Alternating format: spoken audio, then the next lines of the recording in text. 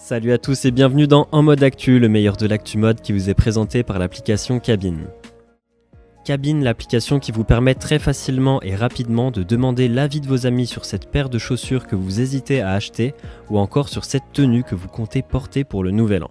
Invitez-les dans une cabine, ils votent et le tour est joué. Rendez-vous sur notre site pour plus d'infos, le lien est en description. On commence cet épisode avec Gucci qui a sorti une capsule à l'occasion du Nouvel An chinois en mettant à l'honneur Mickey Mouse.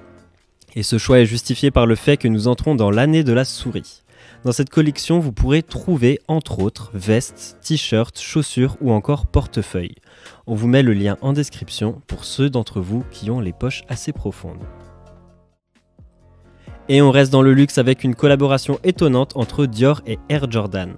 En effet, la marque de haute couture rencontre le sportswear pour une nouvelle vision de la Air Jordan 1. La Air Dior sortira en avril 2020 à 4700 exemplaires et serait, d'après la rumeur, réservée aux clients VIP de Dior pour 2000 euros. Malgré ça, n'hésitez pas à nous dire ce que vous pensez du rendu en commentaire. Et on enchaîne avec un produit innovant de chez L'Oréal nommé le Perso. Ce petit objet, lié à une application sur votre smartphone, analyse votre peau pour vous prodiguer la composition et la dose adaptée de crème hydratante à son utilisateur, mais aussi adaptée à la météo et la qualité de l'air. Ceci est rendu possible grâce à l'intelligence artificielle et toutes les données récoltées. L'Oréal, en plus du perso pour crème hydratante, prévoit deux autres appareils, l'un pour le fond de teint et l'autre pour le rouge à lèvres sortie prévue courant 2021.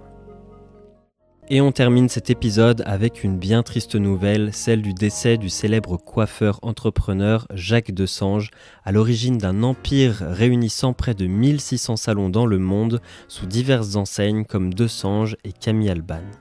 Jacques Desange avait 94 ans. Et c'est là-dessus que ce En mode actu se termine. N'hésitez pas à liker et à partager cette vidéo si elle vous a plu. Retrouvez-nous aussi sur Instagram, Twitter, Facebook et sur notre site pour être au courant des nouveautés de notre app. Toute l'équipe cabine vous souhaite une merveilleuse journée et à demain pour encore plus d'actu.